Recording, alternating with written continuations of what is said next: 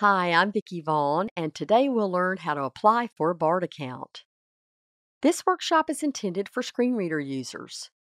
We'll be using NVDA as our screen reader, but it will work pretty much the same no matter which screen reader you use. If you are a low vision user, be sure to check out our low vision version of this workshop. You might be wondering what is BARD? BARD stands for Braille and Audio Reading Download. It's our one stop shop for all the digital books and magazines available through the National Library Service for the Blind and Print Disabled, or NLS. Eligible NLS patrons can use their BARD account to access more than 110,000 audio and braille books. That's not all. BARD also has over 80 current magazines available for downloading. In this series, we'll learn how to apply for a BARD membership, search for and download desired books, and transfer our digital books to a portable cartridge. To access BARD, our first order of business is to apply for a BARD membership. Let's jump right into the NLS BARD website to start our application. The web address is nlsbard.loc.gov. LOC stands for Library of Congress, and GOV stands for Government. Document. Email address edit. Blank. When we first open the website, we find our cursor in the email address edit field. This is convenient because once we have our BARD login information, we return to this page to quickly log in. While we're here, let's have a look at some of the links we find on the BARD homepage. First, we'll jump out of the form field with the Escape key. Then we'll use the keyboard shortcut NVDA plus F7 to list our links. Now, when I say NVDA, I'm referencing the NVDA modifier key. We can use either the Insert or Caps Lock key, depending on our configuration. NVDA plus F7 brings up a list in which we find all of our links. Elements list dialog. Tree view. Level 0 BARD mobile for Fire tablets 6 of 10. Since BARD is a web based service, we access it through our online devices, whether it's our computer, our phone, or our tablet. As we arrow through our list, in addition to BARD Mobile for Fire tablets, we find links for BARD mobile apps for Android, BARD mobile for Android 5 of 10 level 0. And iOS devices like our iPhones and iPads. BARD mobile for iOS devices 4 of 10 level 0.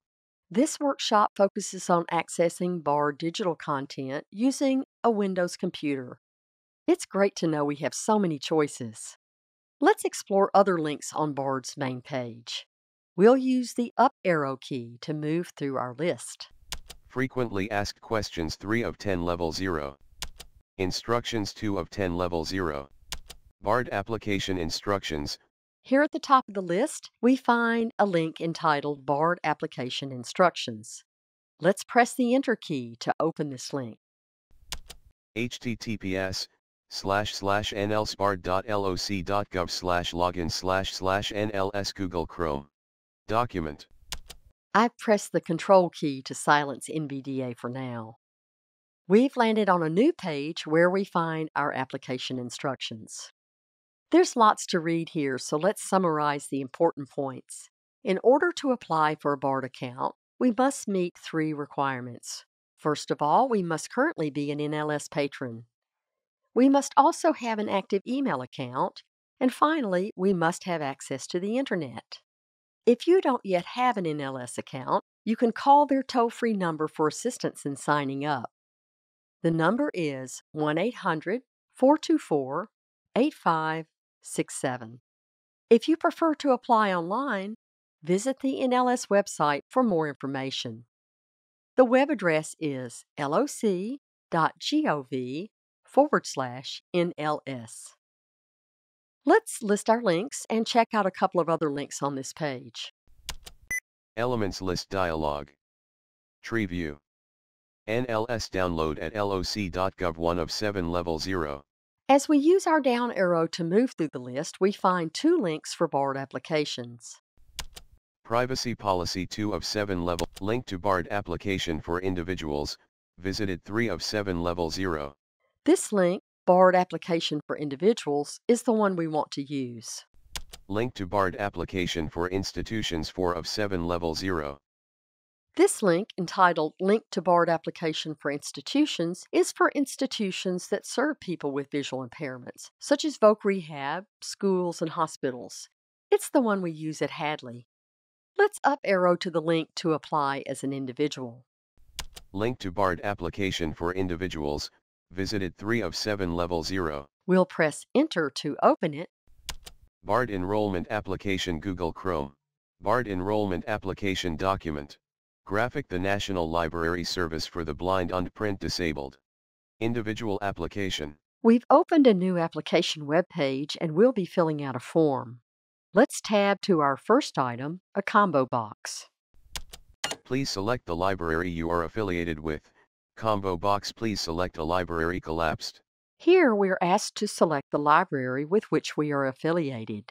This is important information because our local NLS library processes our BARD application. Let's press Alt and the down arrow to open our drop-down box. List. Please select a library 1 of 96. We have a couple of methods we can use to select our local NLS State Library affiliate. We can either arrow down or use first letter navigation to find our home state. Let's try the latter. Since I live in Tennessee, I'll press the letter T. T. TN Tennessee Library for Accessible Books and Media, in Nashville, Tennessee, 77 of 96. This jumps me down in the list to the Tennessee Library for Accessible Books and Media in Nashville. Unless you also live in Tennessee, your local NLS library will be different. Once we've selected the appropriate library, we press the Enter key to select it. Please select the library you are affiliated with, Combo Box TN Tennessee Library for Accessible Books and Media, in Nashville, Tennessee, collapsed. We then tab to the Submit button Submit button. and press our spacebar to select it. Individual application. E. Edit city, edit state, combo box collapsed Tennessee zip code. We've opened the BARD individual application page, and here is where we enter our personal information. For some reason, when we first open the page, our cursor's in the middle of the page. Let's press Shift plus Tab repeatedly until we hear our first edit field. First name, edit field. City, second ad- address, last name, middle initial, first name, edit, blank. We tab through each edit field to complete the form. Near the bottom of the page, we're asked to provide our email address. As I mentioned earlier, BARD uses our email address as our username on the account. It's really important that we use the same email that we used when we signed up for the NLS service to sign up for BARD service. The reason it's important is when we complete our BARD application, it's sent to the Library of Congress in Washington, D.C. They check with our local library to make sure that we have an NLS account. Our email address is our username for both accounts, our NLS and our BARD account. Email address, V I K I. Vicky. E Y E U. As with many forms, we are asked to enter our email address twice to confirm the correct spelling. V I K I. Vic E Y E U. After the email address and confirmation edit fields, we tab to a drop down box. Please select the type of player you will be using.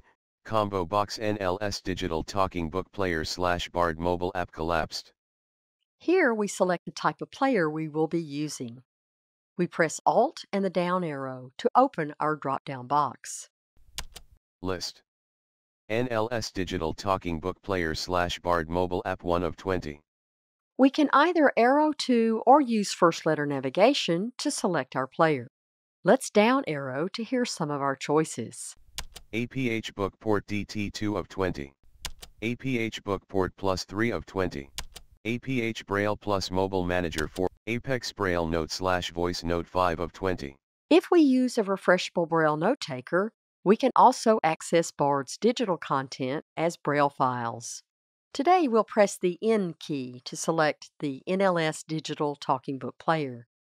N. NLS Digital Talking Book Player slash Bard mobile app 1 of 20. And then press our Enter key to select it.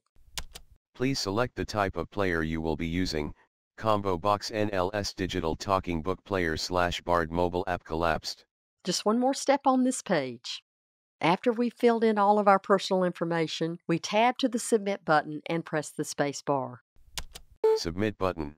Now, I won't actually do this today because I'm demonstrating the process for you. Within a few days of completing the application process, we'll receive an email from Bard with our new username and password. Please join me for the second part of this workshop, where we'll cover the rest of the application process. We'll be ready to log in and start using our BARD account in no time. Today we took our first steps in applying for a BARD account. I'm Vikki Vaughan and I thank you for joining me.